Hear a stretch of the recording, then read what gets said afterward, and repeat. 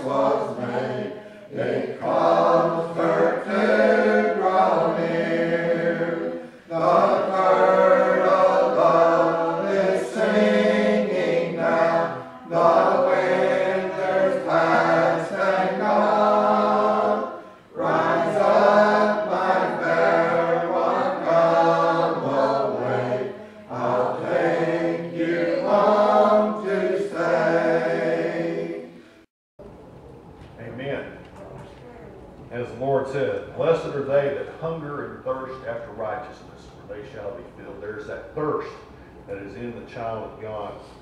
And is that thirst is there because there is a foundation and a reason for that thirst, and that is life. And then he fills that thirst by those fountains of living waters. That's wonderful. That's beautiful. That, that passage, that passage that talks about those living waters is wonderful in the Corinthian letter, I believe it is, and it talked about how it was that that rock which followed them in the wilderness was Christ. Was Christ. Was Christ. Uh, uh, in type and in presence was Christ. And uh, uh, we learn a great lesson from the fact that in the first encounter, they were to smite the rock, and the blessing of the water flowed out. That's the cross, where Christ was smitten. His blood flowed. That salvation was that justification that was bought there.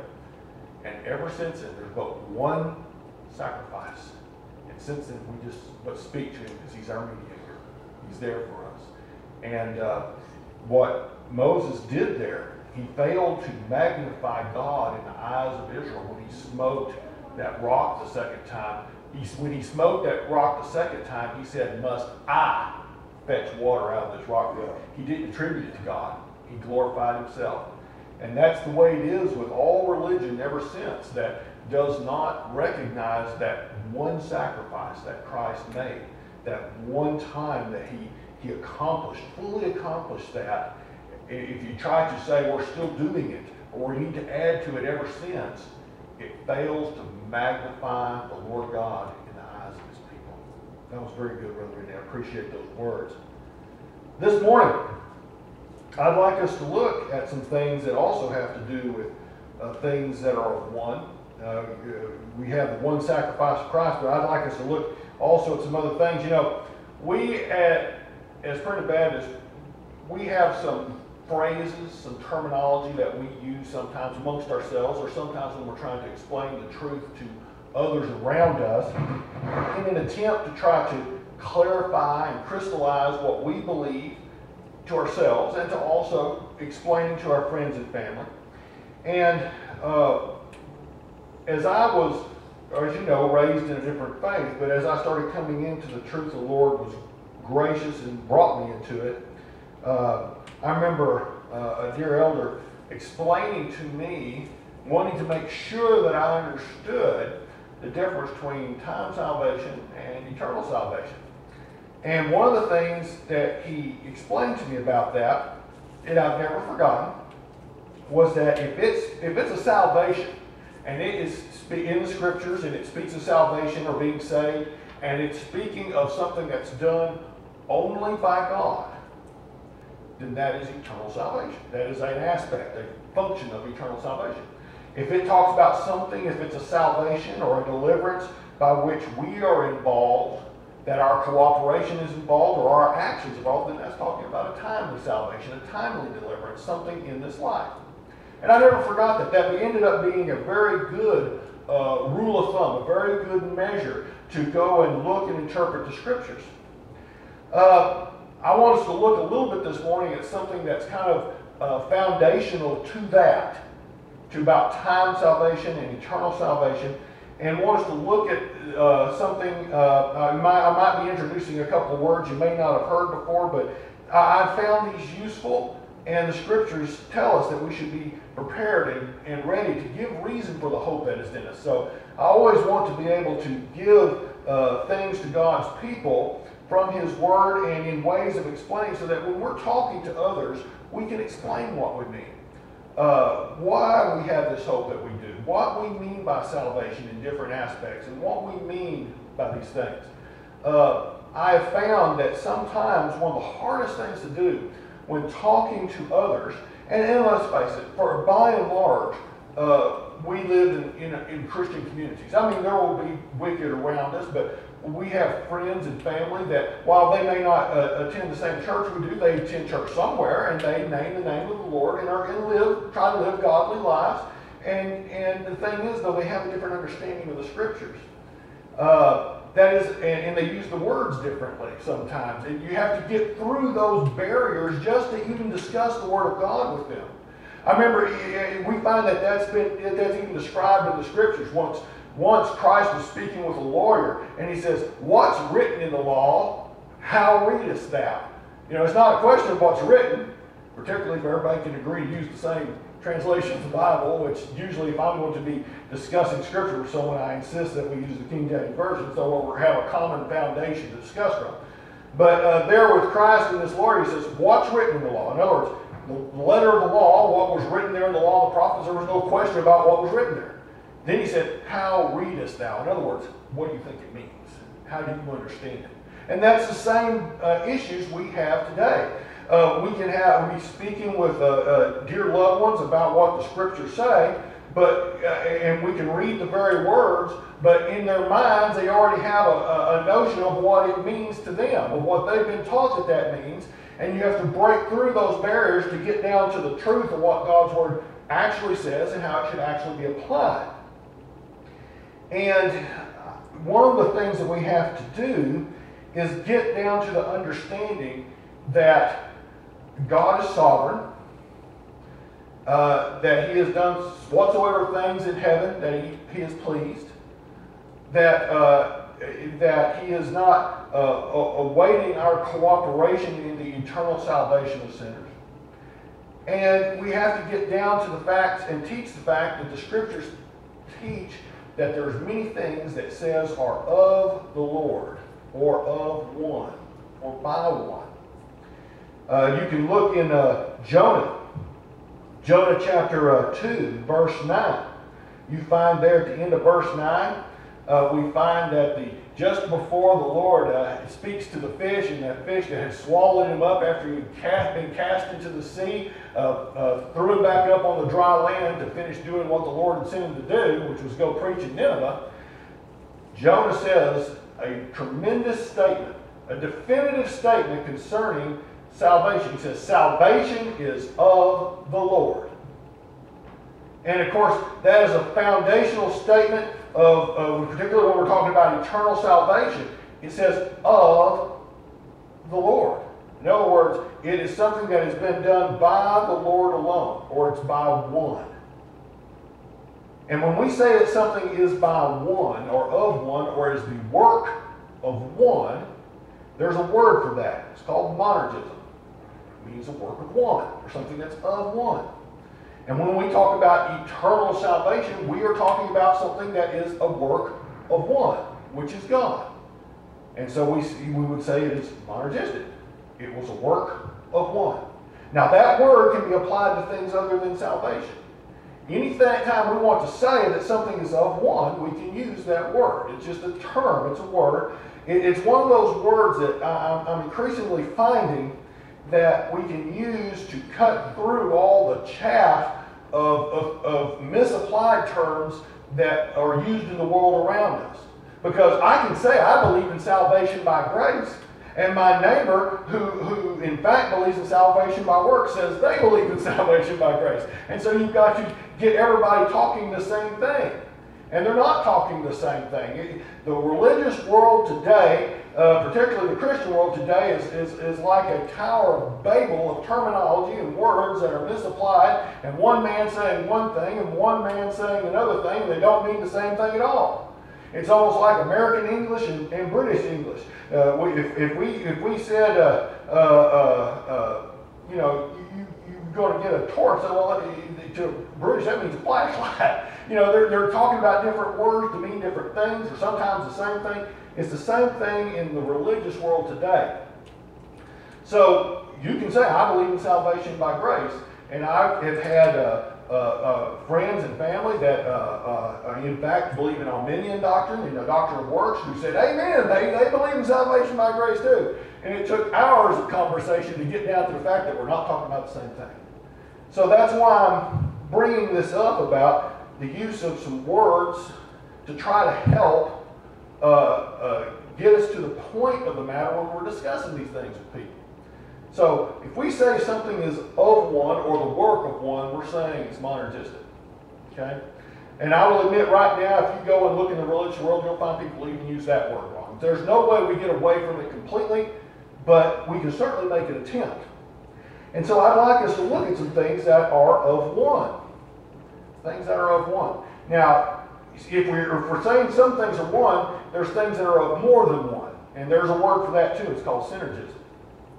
And that's not what we're going to mainly look at this morning. But we're going to look at things, things that are of one. But if something is of more than one, in other words, if you're saying that something is of the Lord and of you, well, that's two. And in some cases, someone may say, well, it's the work of, of the Lord and of you and a preacher. Well, that's three. And you can even get more than that, but that's synergism. In other words, it's of more than one. But I'd like to just look at some things that are of one. We started off with salvation is of the Lord. That's of one. What's interesting is the entire situation that man finds himself in today. That fall in the garden, that's that which set the whole framework, the whole picture of fallen man of the entire need of salvation was also of one. Now, it comes a question oftentimes where did sin come from? How did sin enter into the world? Uh, some forms of religion would try to attribute that to God Himself, which is wrong. While we can affirm that it was of one, it wasn't of God. If we look in Romans in chapter 5 and verse 19, it says, For as by one man's disobedience many were made sinners, so by the obedience of one shall many be made righteous. We find here that it's talking about the one man's disobedience, that was Adam. That was Adam, that was him there in the garden, by him transgressing the law of God, the one law of God that was given, many were made sinners. In other words, all those that were in Adam, which is all of us, Everybody that came afterwards what came out of Adam. And he, that included Eve as well. Because remember, she was taken from Adam. So it all came down to him. And in a sense, in, in, in, in truth, it was that was a monergistic thing. It was of one. It says it right here. It says, For by one man's disobedience, men were made sinners. And so the need of salvation is because of that. That's why we say we believe in total depravity. We believe in original sin. Even though we are also sinners by practice, we come into this world sinners by nature. We don't all experience an individual fall from grace as some would teach. We don't come into the world neutral and, uh, and either go one way or the other. That's not the way it works. This was because of Adam, by one. Now that sets the foundation for uh, uh, many other doctrines, including that of headship, the federal headship. We find that Adam, we were represented by Adam. That's how we can understand that we fell in Adam because he represented the entirety of humanity there in what he did. Therefore, all that came after him suffer the same results and inherit that same fallen nature. For by one man. But notice what it says after that. It says, So by the obedience of one shall many be made righteous. Well, that's Jesus Christ. Now, there's other places, I won't read all the scriptures associated with it, but he is referred to as the second man, the second Adam. And he is now our head. That as he has, uh, been, as many, his children, his elect, have been given unto him before the foundation of the world. You can look in Ephesians 1 and 4 and see how we were given in adoption under Christ Jesus. You can look in John 17 and 2 and see that he gave, shall give eternal life to as many as the Father had given him. That we find he represents them.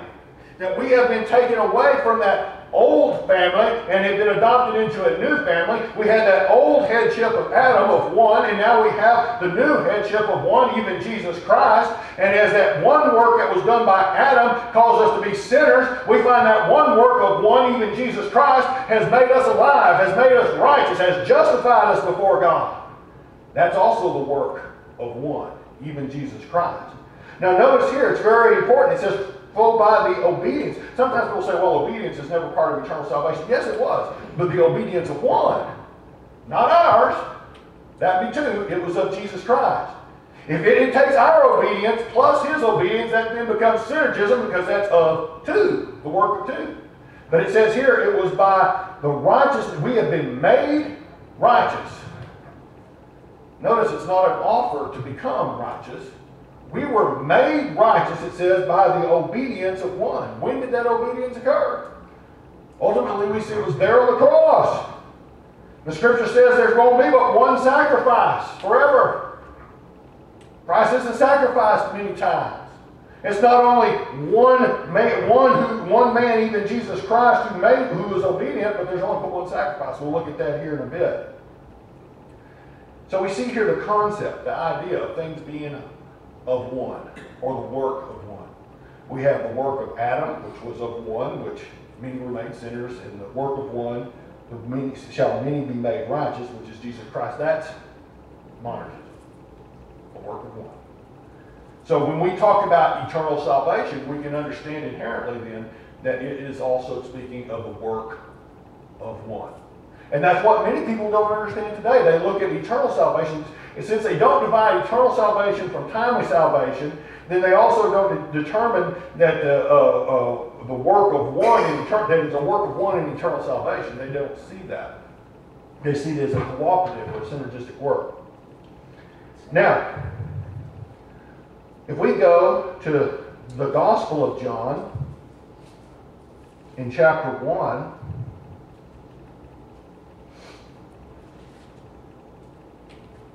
and verse 13.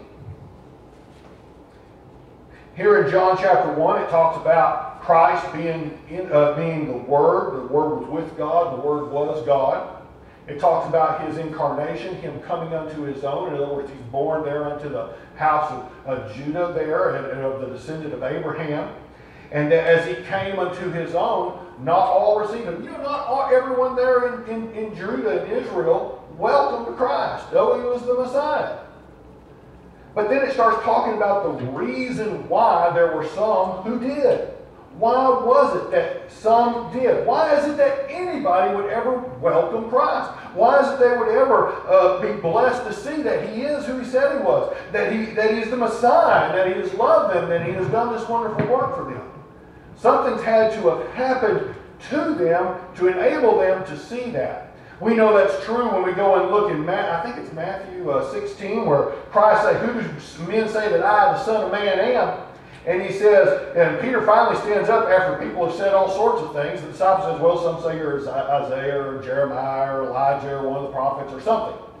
And uh, uh, Peter stands up and says, Thou art the Christ, the Son of the living God. What did Christ attribute Peter's understanding that to? He says, Flesh and blood have not revealed it unto thee, but my Father which in heaven hath revealed it unto thee. Brethren, to be able to see Christ for who he is, it requires the blessing of God. It requires a particular blessing. And we go here in verse 13, we find uh, the, the source of this blessing. If we go in uh, 1 John 1 in verse 13, it says, these the people who welcome him, who see him for what he is, Christ that is, it says, which were born. It talks about being born. It's talking about the new birth here, being born again. It says, which were born. And then it makes some statements concerning where this birth does not come from. The scriptures do that very often. It'll say how something does happen, it'll also say how something does not happen. So he says, which were born, that's the fact. Now, it says, but not of blood. In other words, it's not uh, uh, uh, who you're descended from. It couldn't be of blood. You know, the, many of the Jews uh, uh, hung their hat on and had hope in that they were children of God because they were the descendants of Abraham. Since Abraham was said in the scriptures to be the friend of God, if they're descended from Abraham, well, they're the friends of God. Therefore, they're children of God. Well, but it says here it's not of blood. Because Abraham wasn't the first man, was he? He's generations down the line from the first man. And all men go by blood back to that first man, Adam. Matter of fact, uh, being uh, born again, being born of God, can't be of blood because being born, of that which is of blood is death, actually. Because all died in Adam. Because we're descended from him. It says, not of blood. And then it says, it's nor the will of the flesh. Nor the will of the flesh. Scriptures make it very clear that there's nothing about the natural man that is inclined to do anything concerning God. You can go into Romans chapter 3, verses 10 through 18. You can go into other places and see what that natural man is like, what that flesh is like. That which is born of flesh. Uh, it, it, says it doesn't understand God, it doesn't seek God. The scriptures describe that if you were able to look there in John chapter, uh, I mean Romans chapter 3, that if you was able to look inside the natural man, you would see nothing but death.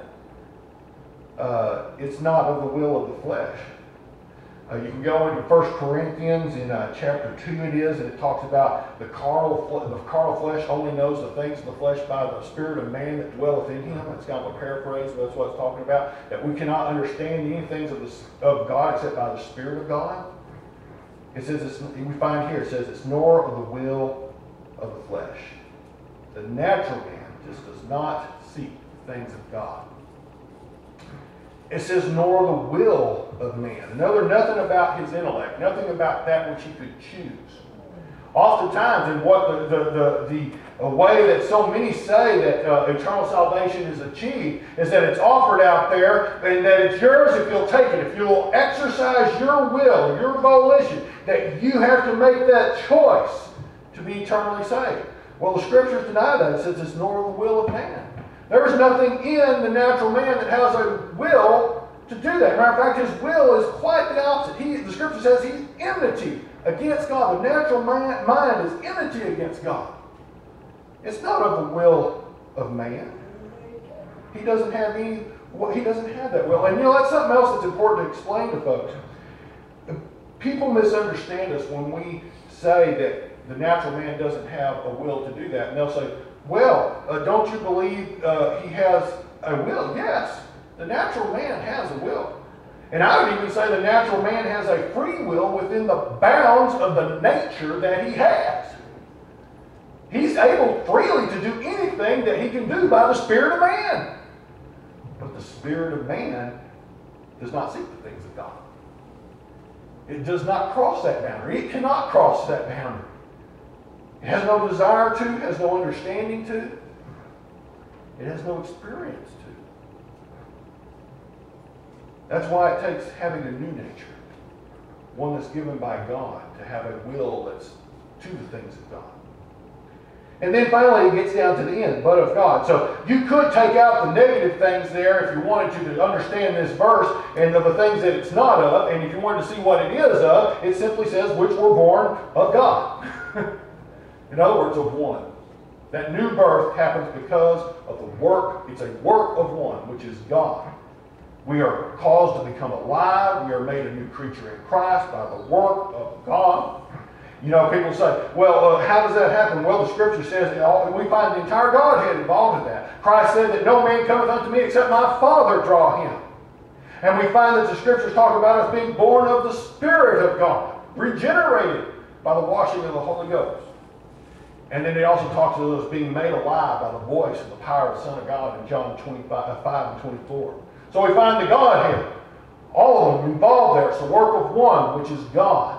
Whether we're talking about the Father, the Son, the Holy Ghost, it doesn't matter. It's the work of one. Now, we can go to some other places and look at things that are of one. If you go into 1 Corinthians chapter 9, we find uh, some statements that are made concerning there being one. 1 Corinthians, I'm sorry, not chapter 9, chapter 8. 1 Corinthians chapter 8. And you can go into verse 6. And, and, and we find here that uh, the Apostle Paul is, uh, the background there is the Apostle Paul is talking about how uh, they had come out, the Corinthians had come out of pagan background, and they called all, all sorts of idols and things gods that weren't God. So he says in verse 6 of chapter 8, he says, But to us there is but one God. One God. That's fundamental. You go back into the Old Testament, it says, Hear ye, O house of Israel, your Lord is one Lord. And, and sometimes people say, but don't you believe in the Father, the Son, and the Holy Spirit? Yes, we do, but the Scripture says, for these three are one. You know, it's not three gods, there's just one God. You're expressed in three persons, but there's only one God. He says, But there is unto us one God, the Father, of whom are all things, and we in him. Notice it attributes our being in him. And, I, and when we says we're in him, other places you see about being in Christ, that's a positional statement. That's, a, that's, that's, how, that's whose household and whose family you're counted a member of. We're in him. It says, and one Lord Jesus Christ, by whom are all things, and we by him. So it talks about us being in God, the Father. It talks about us being uh, Christ, who has made all things, and we by him. And both of those are monergism. It's either way you look at that, it's of one. We are in God by his will. We are in Christ and, and ultimately in God because of the work of Jesus Christ. He says, by whom are all things. Remember that Christ was the incar- is the incarnation of the second member of the Godhead. It says he's the Word. In John chapter 1, it says, In the beginning was the Word, and the Word was with God, and the Word was God, and all things were made by him, and there was nothing made that was made without him. I messed that up a little bit, Tim, but you get my point. That when in the beginning, you can go back to Genesis, and where it says that said, God said, Let there be light, and there was light, and God said, Let there be this and that, and all the different things that happened in creation. That was done by the second member of the Godhead. That was his function, that was his role, that he spoke these things into existence. And brethren, when these things are spoken into existence, it also includes our new birth, our life in Christ. You go into John chapter 5 and verses, 25, uh, verses 24 on down through. It talks about uh, Christ being the one who speaks life into us. It also says that it's by his voice when he speaks, he's going to raise the dead from the graves and make those bodies alive again, again and, and, and glorified. So it says one. There is but one God, the Father of whom are all things, and we in him, and, the, and one Lord Jesus Christ, by whom are all things, and we by him. It's not by him plus something additional. Our works, our obedience, our belief. No, it's by one, by him. Now, we go on, we can see here it's, it, it emphasizes, but there is but one God. If we go now into uh, 1 Timothy, 1 Timothy chapter 2. 1 Timothy chapter 2. In verse 5, it says, For again, for there is one God. And it says, And one mediator between God and men, the man, Christ Jesus. The man, Christ Jesus.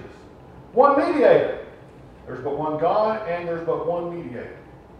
Now, one thing we need to understand about mediation, what is, it, what is the mediator doing? He is the one who stands between. He is the one who makes things right between the two parties. We've often ta- heard about something instead of going to trial, going to mediation. You know, that's a good thing to remember. Is that, you know, if, if you go to mediation, you don't have to go to trial and judgment. Well, rather, because we have a mediator we've been taken to mediation, we don't go to judgment. We don't go to trial and judgment in the end. because we have a mediator, and that's Christ Jesus. He is the one who is standing there before God. He is the one that no matter what accusation is brought by the devil concerning us, he says, No, my blood has paid the price. I have made them just. And you know, Christ sees us entirely through the work of his Son. He sees us differently. You know, we, we know that we are still sinners here. We've been changed in the inward parts, but in the outer man, we still have uh, sin that works in our members and in our minds. Uh, but, but, brethren, that is not how we are treated by God because His Son has already paid the price and He is suitable to be the mediator for us before God. And that price is always good. That ransom He made. Matter of fact, the next verse it says, in verse 6 is, who gave Himself a ransom for all to be testified in due time. For all of His God's children, He was the ransom. And so no matter what happens, that ransom price has been paid. He has redeemed us by His blood, it says in other places. But notice, it's by one. We have one mediator. Now, if we had to go before God and had to bring our own works before God, and that was how we were going to be saved, eternally speaking, that is, then there would be more than one mediator. Brethren, even if we had to simply go and exercise an act of faith, or we had to say a prayer, or believe, or do anything, we would be bringing that before God, and in bringing that before God, we would be acting as our own mediator. But the scriptures insist there's but one mediator, and it's the same one who paid the ransom price, which is Jesus Christ. One mediator. We go and look in some other places. There's more things concerning these things being of one. If we go into the Hebrew letter in chapter 10. Hebrews in chapter 10. We'll begin about verse 9. Hebrews 10 and 9. And if you've never studied through the book of Hebrews, you never read through the book of Hebrews, I strongly encourage it as I would any of the Bible, but there are so many deep points that are made here. And it's not an easy book, by the way. The book of Hebrews is not an easy book. I remember early on when, uh, when I was becoming far more interested in studying the things of God and understanding the things of grace. And I, the first time I really seriously tried to read through the book of Hebrews to gain understanding and to understand how that applied to salvation by grace, I came at the end of it completely, you know, not understanding. It just I didn't get it, so much of it. So I prayed to God that He would give me an understanding of this book. And, and over time, He has shown me a few things. I don't claim to say I know everything there is to know, but uh, it's a few, the few things the Lord is, is, has, has opened up, it, I find are beautiful and, and very deep and, and things that, are, that uh, really enhance our understanding. It says here in chapter 10, verse 9, it says, Then said he, Lo, I come to do thy will, O God. So this is speaking of God the Word, the Son, Jesus Christ. He has come to do the will of the Father. And you know that's consistent with the testimony that Christ gave in the New Testament. He says, All the things that I do, all the things I've said were given unto me by my Father. I've not done anything that was outside of what was given to me by my Father. It then says, He taketh away the first that he might establish the second. And this is talking about the covenants. You had the law covenant, which was a covenant of works. It was. Now, they were not ever eternally saved by a covenant of works. It was a type. It was given as a law, a covenant of obedience to the nation of Israel, and that if they stayed in that nation of Israel, they would experience blessings as God's people, as that nation, as a people. But it was a type of spiritual Israel. The truth is, though, what they find under the Old Covenant is that none can keep it. No one can keep the law of God perfectly. Even the lawgiver and the high priest of the law. Yeah, Moses and Aaron, as Brother Randy mentioned earlier, they did not. Moses didn't enter into Canaan's land because he broke that law. We find here, you say, well, what law did Moses break? He set up an idol. Even worse. It wasn't a golden calf like Aaron. It was himself. Must I fetch water from this stone? Is what he said. And in that he did not magnify the Lord God before the house of Israel. So, he broke one of the very commandments that the Lord gave him to deliver down Mount Sinai. So it says, here Christ said, I come to do thy will, O God. It says he taketh away the first that he might establish the second. That we find that Christ was the one who fulfilled all of the law to the jot, to the tittle, in other words, in every point possible, never sinned, was the spotless Lamb of God. And he established a new covenant because the old one had been fulfilled. Once an old co- once a covenant's finally been fulfilled, the new one can be established. It had to be fulfilled for the second to be established, and that's what he did. It says in verse 10, it says, By the which will we are sanctified through the offering of the body of Jesus Christ once for all. Again, for all of spiritual Israel, all the elect, that we find they are sanctified by this one offering. The offering of Jesus Christ upon the cross, of his blood, of his death, him dying in our stead. And it had to be by death. We say you, you, we were saved by his blood. Yes, but understand that implies by his death. It couldn't have been that blood was shed he didn't die. There's actually heresy out there in the world that teaches that. No, he had to die because the wages of sin is death. So he had to die in our stead. And he says here in verse 11, it says that every priest standeth by daily ministering and offerings oftentimes the same sacrifices, which can never take away sins. You know, they did it time and time again. Day after day, year after year, they offered these sacrifices there in Israel. They never actually took away sin. Not before God. They didn't, you know, they, that's not what they did. It says, but this man, which is Jesus Christ. It says, But this man, after he had offered one sacrifice for sins forever. So here we see it is one sacrifice. Again, something that's of one. In this case, it's of one sacrifice. It had the result of taking away sins forever. You can go back in Job.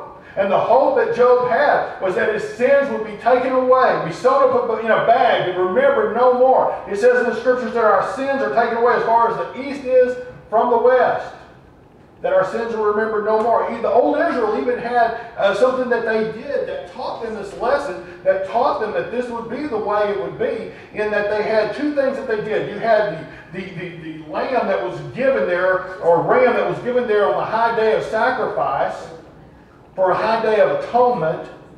And at the, on that same, at that same day that you find that they had a goat. So you had a sacrifice made for the house of Israel there. And then you had a goat, and the purpose of the goat, it wasn't sacrificed. But the whole high priest, he laid his hand upon the head of it, and then it was taken by a strong man out in the wilderness to be remembered no more because it carried away the sin. Or it typified carrying away the sin. So you see, we find the work of Jesus Christ there by one, sin being taken away, to be remembered no more. It says, again, it says, But this man, after he had offered one sacrifice for sins forever, it says, sat down at the right hand of God. That means he was done. When Jesus Christ said, It is finished, he really meant it. That's one of the things I, I emphasize to friends and, and, and loved ones when I'm talking about the work of Jesus Christ when we say we believe in salvation by grace. Brethren, I, I tell them that, that it's by the work of one, Jesus Christ. And that when he said it is finished, it didn't just mean his sufferings. It meant the work that the Father had given him to do was finished. And it was proven and demonstrated that it was finished three days and three nights later when Christ arose from that grave. Because it says he was raised for our justification. Now, we, we were justified on the cross. In other words, his rising from the, the grave proved, demonstrated that the work that he had done before the Father was sufficient, that was complete, that he had done what he had set out to do, what the Father had sent him to do, which was to deliver his people from their sins. As it says in, John, in Matthew chapter 1, verse 21, thou shalt call his name Jesus, for he shall save his people from their sins. 33 years later, he did it, and it was accomplished, and he rose from the grave, brethren. And it was the work of one. It says he sat down on the right hand of God. It says in verse 13, from henceforth, from in other words, from that moment on, it says expecting till his enemies be made his footstool. In other words, the work is finished all that is going on right now. We have the church age. We have our lives being lived out. We have us uh, trying to serve God and to understand the things of God. But the work of Jesus Christ is finished. The covenant is sealed. It is complete. Uh, those sins have been taken away. And he, when it says he's sitting there expecting until his enemies be made his footstool, in other words, he's waiting for all the enemies to roll out. In other words, it's just a matter of time. It's just a matter of time but the work was done then. It's not being done now. It's not waiting yet to be done. All that's waiting to be done is for the Father to say to him, Arise, go get my people. That's all we're waiting on. It says in verse 14, it says, For by one offering, again, something that's by one for by one offering, and what does he say the result is here? He says, He, being Jesus Christ, hath perfected forever them that are sanctified. Before God, we have been made, we've been perfected. We've been perfected. Now, you, we look at ourselves and say, well, I don't feel very perfect. That's not what it's talking about here. It's not talking about in our lives that we're having to struggle here with the flesh here. Before God, legally, positionally, uh, and in justification, we have been made perfect before the Father by the one sacrifice of Jesus Christ. There are not more sacrifices. There are not masses that need to be taking place to go on to apply more sacrifices unto God's people. And God's people are certainly not asked to sacrifice to achieve this thing here. Now, the scriptures talk about us offering sacrifices unto God, but these are only things that are in obedience. The sacrifices of the lips of thanksgiving, uh, uh, things that we do by uh, the offerings of our bodies as our uh, uh, the things that we would do to serve God. But this is talking about that which makes us perfect. And this is the work of Jesus Christ, and that is one offering. It can't be added to, it can't be subtracted to, from, and it's given for those that, that he is perfected. Now, sometimes people say, well, what about this sacrifice? Wasn't it made for all men? No, that's not what it says here. It says here, for by one offering he hath perfected forever them that are sanctified. Brethren, if that sacrifice, that atonement had been made for all men, then all men would be perfect. The scriptures would declare that. But that's not what it says. We know that hell is real. We know that not all are children of God. Not all are chosen by God. You can go and look into numerous scriptures where it talks about the elect.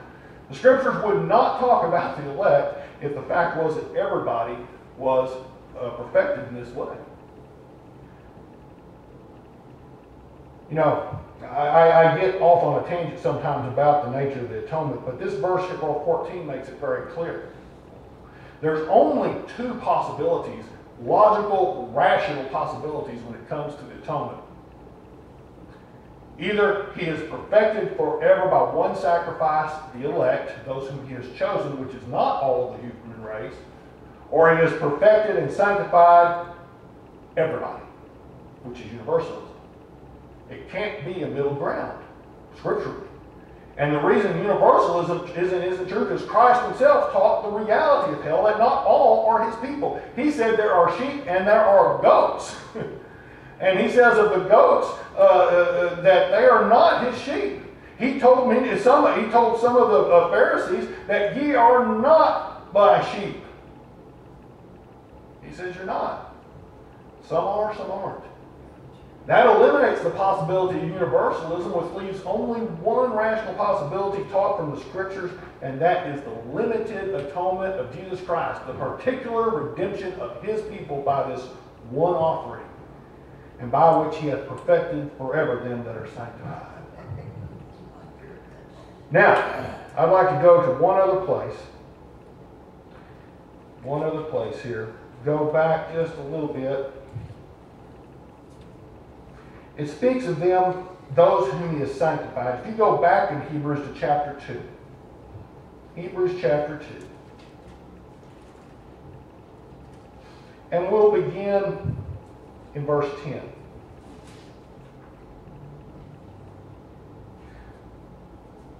We could even begin in verse 9. It says, But we see Jesus, who was made a little lower than the angels for the suffering of death. That was the purpose for which he came into this world, was to suffer death for his people.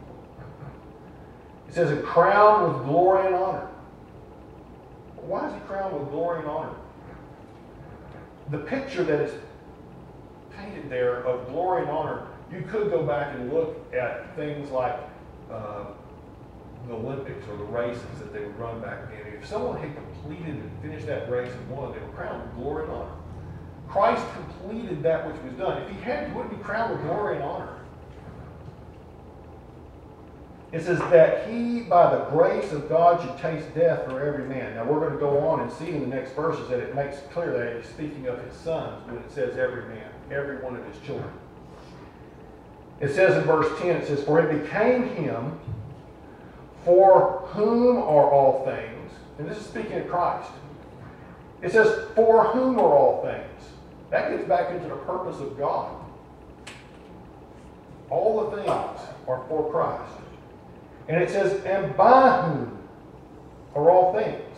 Remember, he is the creator. In bringing many sons to glory. This is what he means by all men, the many sons. And that's not every human being. It says to make the captain of their salvation perfect through sufferings. In other words, he perfectly accomplished the fulfillment of the covenant that God had given him to do through his sufferings there upon the cross. That's why he was able to say, It is finished. It says in verse 11, it says, For both he that sanctifieth and they who are sanctified, remember they were sanctified by that one offering, are all, again, of one. Of one.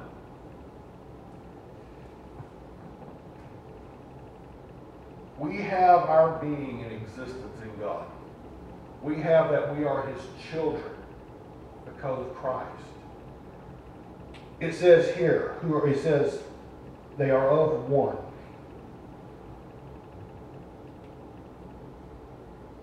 Now, we're going to explain this a little bit. It says, For by which cause he is not ashamed to call them brethren. So, who is the one, who's the he, and who are the brethren? Well, it's the many sons are the brethren. But understand here, it says we're of one, which is of God. And by implication here, we are saved eternally by God. And it says, bring many sons unto glory, and he has sanctified them, and they're all of one. And then it says, speaking of Christ, he is not ashamed to call them brethren. Remember, Christ told disciples, I and my Father are one. But Christ also prayed that his children would be one in them. We are one in Christ. And we are his brethren. It says we're the children of the Father and brethren of the Son. And it's a very interesting relationship we have there because it means we're all of one. The scripture says of Christ, he is of one, even God. And if we are also, in other words, if Christ is of God and we are of God, then there's only one conclusion you have. We're brethren. We have one Father, our Heavenly. And we find here it's because we have been sanctified by our elder brother. The scripture says if a man would have friends, he must show himself friendly, and there's one that sticketh closer than a brother. Well, that one is Jesus Christ. Because he has laid down his life for us and sanctified us and bought us back unto our Heavenly Father and stands there as our mediator, having made that one sacrifice. Whereby he is perfected forever his children. When we talk about things being of one, when we talk about eternal salvation being of one, when we talk about it being monergistic, these are the things that we are talking about. We find that the scriptures don't say it is of God or of Christ plus us. It's of God. As Jonah said, salvation is of the Lord. Think about that. Think about that. Think about those things when you go and explain to your loved ones, friends, and neighbors about the joys that you have in God, about how these things are of one. Even our Lord and Savior Jesus Christ. That's all I have this morning. Thank you for your kind attention.